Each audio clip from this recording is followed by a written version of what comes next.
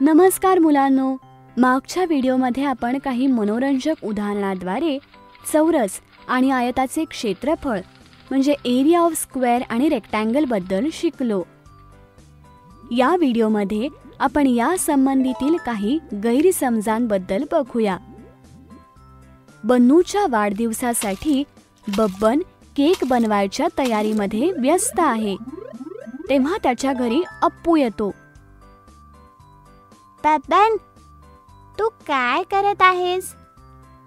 मी बन्नूसाठी cake बनवण्याची तयारी करत आहे. अरे वा बब्बन परंतु केक बनवण्यासाठी या मोठ्या ट्रेऐवजी हा छोटा ट्रे का नाही वापरत आहेस? अप्पू मी दोन्ही ट्रेच्या परिमितीला अशा प्रकारे शोधले आहे. आणि बघ दोन्हीची परिमिती समान. छत्तीस सेंटीमीटर आहे. याचा अर्थ दोन्ही ट्रे एकदम समान आहेत.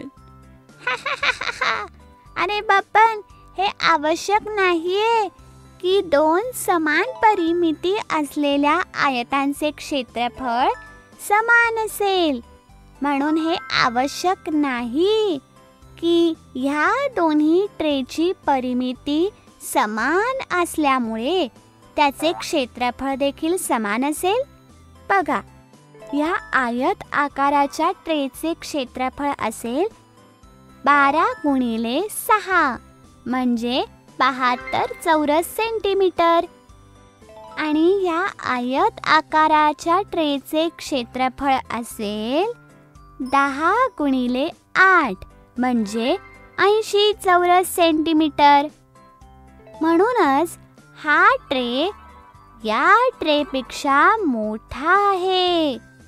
समजले?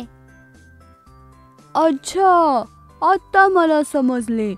आता मी ह्या मोठ्या ट्रेमध्ये बन्नोच्या वाढदिवसासाठी केक बनवणार. तू त्याच्या वाढदिवसाच्या पार्टीमध्ये नक्की ये हा अप्पू.